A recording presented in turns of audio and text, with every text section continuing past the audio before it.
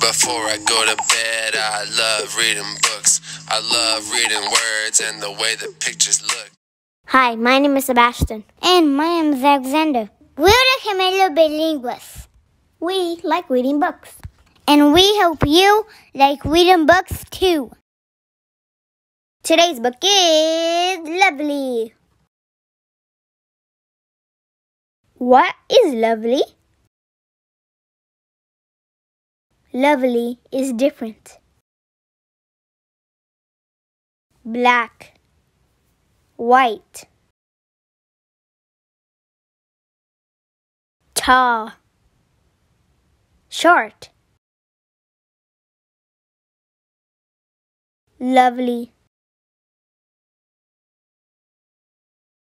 simple, complex. Fluffy, sleek, lovely, soft, sharp, big, small, lovely. Fancy, sporty, graceful, stumpy,